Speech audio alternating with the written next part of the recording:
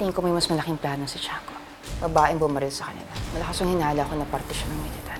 Iniisip mo ba na militar ang may gawa nito? Posible.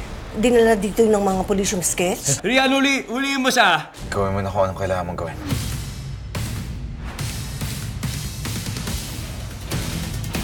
Ikaw yung mo! The General's Daughter. After FPJ's Ang Provinciano.